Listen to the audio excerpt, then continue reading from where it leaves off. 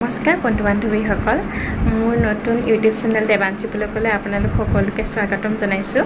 আচলতে নতুন বুলিনো কি ক'ম? মোৰ ইউটিউব চেনেলটো খোলা বহুত দিনেই হ'ল। মানে দুহেজাৰ একৈছ চনৰ ডিচেম্বৰ মাহতে মই খুলিছিলোঁ।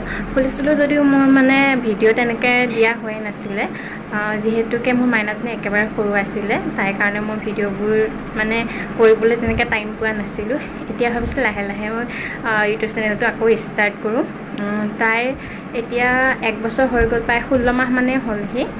তাই সেই সৰুতে কৰা সৰু সৰু ভিডিঅ'বোৰ এতিয়া মই ইউটিউবত মানে শ্বৰ্ট ভিডিঅ' হিচাপে দি আছোঁ। আৰু ভাবিছোঁ লাহে ধীৰে আৰু ব্লগ হিচাপে বনাম বুলি ভাবিছোঁ। আপোনালোকে সহায় সহযোগিতা কৰিব লাইক কৰিব শ্বেয়াৰ কৰিব ছাবস্ক্ৰাইব কৰিব। তেতিয়া উৎসাহ পাম আৰু নতুনকৈ বনাবলৈ প্ৰেৰণা পাম। মই ৰেচিপি ভিডিঅ' দিম। আপোনালোকে চাব যদি ভাল পায় সঁচাকৈ লাইক শ্বেয়াৰ আৰু ছাবস্ক্ৰাইব কৰি দিব।